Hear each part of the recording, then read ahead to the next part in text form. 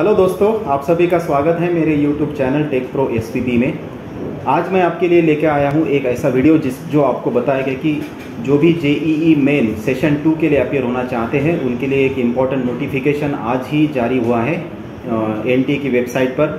आप यहाँ पर देख रहे हैं, ये है छः जुलाई का नोटिस जो आज ही जारी हुआ है यहाँ पर, जिसमें ये क्लियरली मैंशनड है। आप यहाँ पर देख सकते हैं कि जिनको भी जेई सेशन टू के लिए अपियर होना है उनके लिए यहाँ पे एक इंपॉर्टेंट इन्फॉर्मेशन है, आप यहाँ पे देख रहे हैं। ये जो इन्फॉर्मेशन स्क्रीन के ऊपर आपके सामने है, जो भी एप्लीकेशन करना चाहते हैं सेशन टू के लिए, उनके लिए एप्लीकेशन ओपन होगा 6 जुलाई से लेकर 9 जुलाई तक, रात 11 बजे तक आप अप्लाई कर सकते हैं।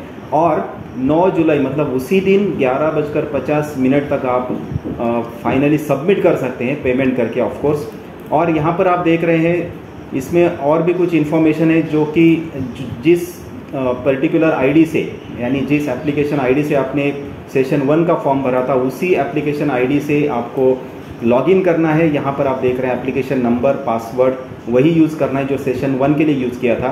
और यहाँ पर आपको जो भी चीज़ें सिलेक्ट करनी है, वो है आपका पेपर मीडियम ऑफ़ एग्जामिनेशन और सिटीज़ मतलब आप अगर कोई ऑप्शन चेंज करना चाहते हैं तो वो सिर्फ़ आपको चेंज करना है।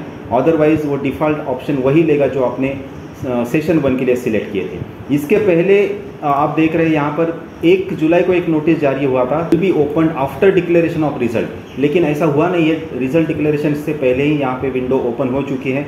जो आज से ओपन है, आप एप्लीकेशन कर सकते हैं। आइए देखते हैं अभी एप्लीकेशन कैसे करना है, उसके लिए मैं आपको लेके चलूँगा एन की वेबसाइट पर। आइए अभी देखते हैं सेशन टू के लिए अप्लाई कैसे करना है। इसके लिए आपको जाना है N T A dot A C dot in इस वेबसाइट पर और यहाँ पे जाके आपको स्टूडेंट्स टैब में जाके देखना है J joint entrance examination J E E आपके सामने ये विंडो ओपन हो, नया टैब ओपन होगा। यहाँ पे आप देख सकते हैं कि 6 जुलाई का जो नोटिस है, वो यहाँ पर भी यहाँ टॉप में अपेयर हो रहा है।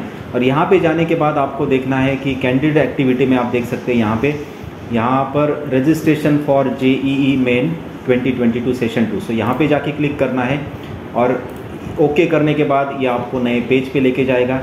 यहाँ पर already JE main session two का एप्लीकेशन फॉर्म सिलेक्टेड है। यहाँ पर आपको आपका एप्लीकेशन नंबर और पासवर्ड डालना है, जो आपने इसके लिए भी किया था सेशन वन के लिए।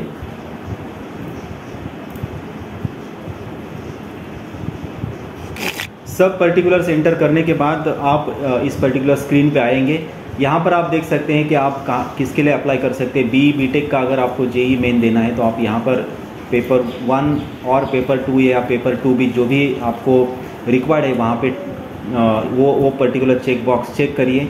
यहाँ पर आप देख सकते हैं, आपका क्वेश्चन पेपर का जो मीडियम है, वो कौन सा चाहिए, वो आप यहाँ से सिलेक्ट कर सकते हैं। जनरली इंग्लिश मेजोरिटी स्टूडेंट्स का होगा।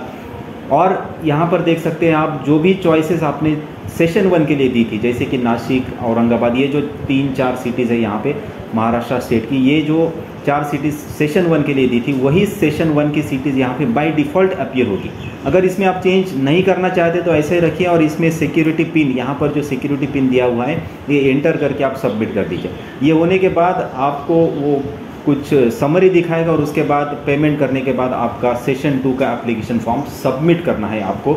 जैसे कि मैं यहाँ पे कर रहा हूँ जो सिक्योरिटी पिन है, देखते हैं यहाँ पर अगर मैं यही डिफ़ॉल्ट रखूँ और सिक्योरिटी पिन एंटर करने के बाद, ये सबमिट करने के बाद वो आपसे पूछेगा कि review the following information carefully जैसे कि आप जो भी इन्फॉर्मेशन है वो केयरफुली रिव्यू करने के बाद ही आपको सबमिट बटन प्रेस करना है। जैसे कि यहाँ पर देख रहे हैं आप पेपर वन है सेशन टू है। ये जो आपने चार चॉइसेस दी हैं ये आपको देखनी है। ये अगर करेक्ट है तो ही आपको एग्री करके फाइनल सबमिट करना है। फाइनल सबमिशन के बाद आपको लेके जाएगा वो पेमेंट पेज पर और वहाँ पे पेमेंट होने के बाद आपका एप्लीकेशन सबमिट हो जाएगा। तो इस तरह से आ, मुझे उम्मीद है ये वीडियो आपको ज़रूर उपयोगी साबित होगा।